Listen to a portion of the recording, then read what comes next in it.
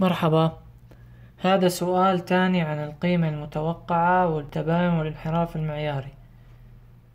أعطيني جدول فيه س وقيم س وقيم ح س وطالب مني ثلاث مطالب قيمة متوقعة ميو سجمة تربيعي اللي هو التباين والانحراف المعياري. الانحراف المعياري بنجي آخر شي أول شي القيمة المتوقعة. طبعا واحد أول مطلوب القيمة المتوقعة. اللي هي ميو. رمز القيمة المتوقعة ميو. الميو له قانون. اللي هو مجموع س في حاء س خلونا ننشئ هون على الطرف جدول عشان نطلع منه المطالب. كيف بطلع الميو؟ كيف بطلع التباين؟ يعني اللي هي القيمة المتوقعة والتباين انحراف المعيار برسم جدول هون بطرف الج... طرف الورقة بقسم هذا الجدول إلى صفوف وأعمدة بده يكون فيه أربع أعمدة العمود الأول العمود الثاني العمود الثالث وهذا العمود الرابع. طبعا شو بعبي جوا العواميد؟ بعبي جوا العواميد اللي هي قيم س العمود الأول قيم س قيم حاء س. خلينا نخلص أول عمودين مشان نبدأ ننشئ نطلع نواتج العمود الثالث والرابع.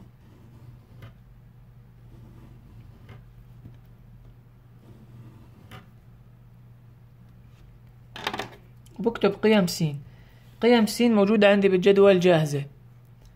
عشرة خمسطاش عشرين خمسة وعشرين. بكتب مقابلة قيم حاء س point one point two point three point four طبعا هو المفروض المفروض إنه مجموع قيم عمود أو صف حاء س تساوي واحد. لو جمعناهم هيك جينا جمعناهم راح نلاقي point واحد زائد point اثنين زائد point ثلاثة هدول point ستة. point ستة و point أربعة تساوي واحد صحيح. طيب الآن عندي قلنا القانون تبع ميو. للآن ما استفدنا شيء. قانون الميو اللي هو القيمة المتوقعة. مجموع س في حاء س. هلأ بنشئ هون عمود جديد اسمه س. في حاء س كيف بطلع قيم س في حاء س بضرب أول قيمة بس بالقيمة المقابلة بحاء س بشتغل شغل صفوف. قيمة س في حاء س قيمة س في حاء س قيمة س في حاء س بضرب عشرة في point واحد بالآلة الحاسبة. عشرة في point one تساوي واحد. اكتبوني واحد. خمسطاش في point two تساوي تلاتة. اكتب تلاتة. عشرين بروح للقيمة اللي بعدها. عشرين في point تلاتة تساوي ستة. بروح للقيمة اللي بعدها. خمسة وعشرين في point أربعة تساوي عشرة. بيجي هلأ بجمع هاي النواتج اللي طلعت لي عشرة وستة ستاش ستاش وثلاثة تسعتاش وواحد وعشرين. هاي قيمة ميو. خلاص طالعت قيمة ميو وعشرين بكتب مقابلة وتساوي عشرين. تمام. بيجي هلأ للمطلوب الثاني. اللي هو التباين. سيجما تربيع. يساوي لها قانون مجموع س تربيع في حاء س الكل ناقصا ميو تربيع. طيب كيف بدي اطلع هذا أنا؟ الطرف الأول من القانون. الطرف الثاني عندي يا ميو.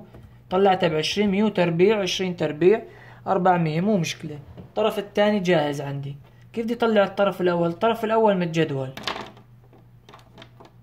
بنشئ عمود جديد اسمه س تربيع في حاء س تمام؟ وببدأ بضرب أول مرة نحن ضربنا قيمة س في حاء س هلأ لا بضرب قيمة س ولكن تربيع. مربعة شوف حطيت لك بالأحمر تربيع. عشرة تربيع في point واحد. عشرة تربيع في point one طلع عندي عشرة. اكتبها هون. روح للخانة اللي بعدها. خمسطاش تربيع في point two. طلع لي خمسة وأربعين. روح للقيمة اللي بعدها. عشرين تربيع في point three. طلع لي مية وعشرين. روح للقيمة اللي بعدها. خمسة وعشرين تربيع في point four طلع لي ميتين وخمسين. هاي النواتج مجموعة مجموعة يساوي منجمعهم بالآلة الحاسبة بيطلع عندي الناتج أربعمية وخمس أربعمية وخمسة وعشرين. قلنا مية ميتين وعشرين ميتين وخمسين تلاتمية وسبعين تلاتمية وسبعين. زائدا خمسة وخمسين طلع عندي أربعمية وخمسة وعشرين. الأربعمية وخمسة وعشرين هذه ليست التباين ولكن مجموع س تربيع في حاء س يعني أنا هلأ صار عندي الشقين جاهزات في للقانون. طبق بالقانون بقول له سيجما تربيع تساوي مجموع س في حاء س اللي هو هذا الشق الشق الأولاني هذا. الشق الأولاني مجموعه أربعمية وخمسة وعشرين. ناقصا ميو تربيع. ميو تربيع نحن طلعنا قيمة ميو عشرين. إذا ميو تربيع تساوي كم؟ تساوي أربعمية. بالآلة الحاسبة عشرين تربيع تساوي أربعمية. برجع بكتب القانون تاني مرة.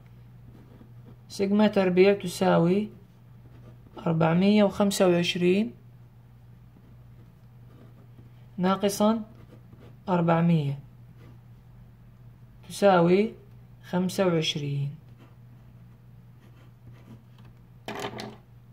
إذا تباين يساوي طلعنا نحن الميو قيمته عشرين. التباين قيمته خمسة وعشرين.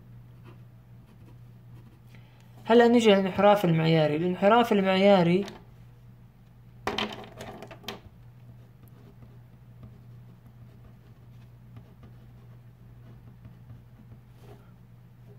يساوي الجذر التربيعي للتباين. أنا بما أني طلعت التباين عندي هون خلص إذا ونرمز للانحراف المعياري بسيجما بدون تربيع. إذا سيجما تساوي الجذر التربيعي لسيجما تربيع. ومنه سيجما تساوي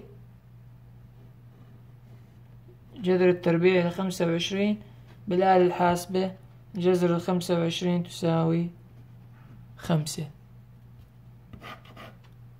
هذا والله أعلم ورد العلم إليه أسلم.